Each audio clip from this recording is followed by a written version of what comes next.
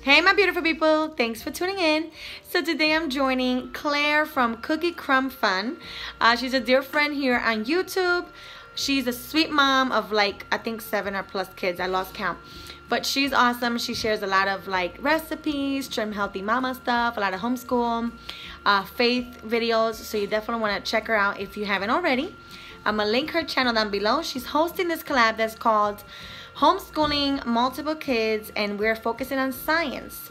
So I think that this um, is a great collab. I was thinking already um, to share something similar. And actually a friend of mine's in um, Instagram had uh, asked me uh, when I put out a question on Instagram, I said, you know, give me some uh, video ideas, you guys. Tell me what you want to see. And she did ask, um, what do I do to teach multiple children um, or how do I deal when I teach multiple children. So I think this is a great collab. So I'm just gonna be focusing on science today. And it's a perfect topic too because actually in my homeschool we do science and history together. We also do art together and we do our morning basket together. Those are our together subjects. Okay, so when it comes to science, um, the first tip that I can give um, a new homeschool mama or, or a homeschool mama that is struggling is to make sure that your curriculum is for multiple ages. There's a lot of curriculums out there where you can teach children of different ages, of different grades, uh, the same topic, and it's so helpful. For example, last year we used a curriculum that I'm gonna post a picture here somewhere. Um, it's Christians, Christian Kids Explore, it's called. And um, we had a great time and Jonah loved it. Of course, Jonah was in kindergarten, so I didn't expect much to for him to retain uh, much information, but he was really enjoying the activities and listening nonetheless. Um, now he's in first grade, and I have a first grader and a fourth grader that we are combining our science with. So we are doing the Good and the Beautiful uh, unit studies this year.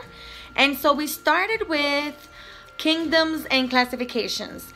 And to be honest, it got a little complicated. It got very, like the lingo, the language was heavy for Jonah, too heavy for Jonah. So I thought it might have not been the best pick for me to start with. So we just recently switched to um, Water on the World, I believe it is. Water in the World. And uh, so far, so good. The kids really love the activities. And even though some of the vocabulary... That's JJ. Even though some of the vocabulary can be a little um, way over his head, he's getting the concept nonetheless. And JL's loving it. Of course, he's in fourth grade. So I'm getting multiple interruptions in this video. Please bear with me.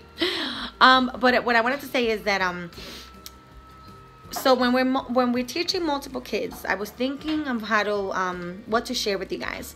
I definitely want to say that when you're teaching teaching multiple kids of different grades um, don't expect much from the younger child. You know concentrate on, on giving the meat to the older child but let the the younger child enjoy and learn what they can learn uh, what they can follow. But yeah it's uh setting our expectations is a, a very important tip that I can give you. Not to have very high expectations for the younger kids because it's for them it might be uh, the, like the vocabulary might be too heavy for them.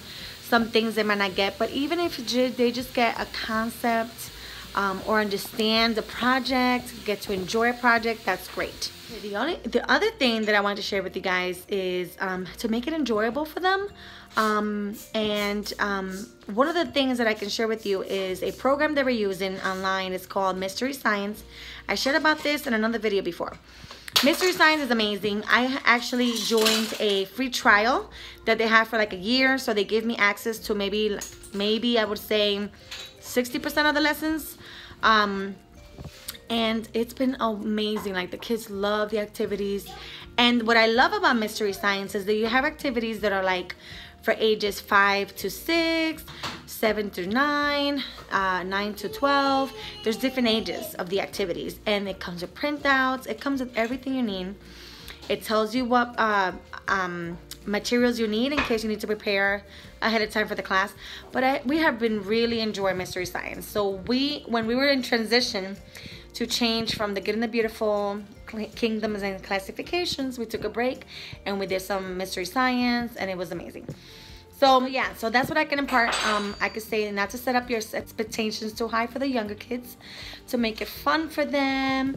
And I also want to share. And I think the third thing I can say is to be patient because like I said, the younger kids tend to take longer to understand something. So you want to be repetitive with them. You want to stop for questions.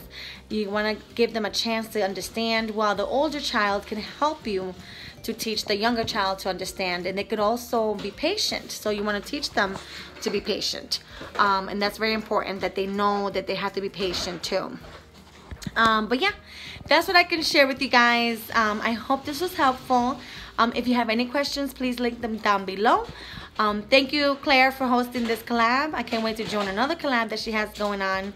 Um, I believe she has uh, teaching multiple children in different subjects, so I will probably join the next one she has. If you're a seasoned mama and you have something to share and how you teach multiple children science, please share down below.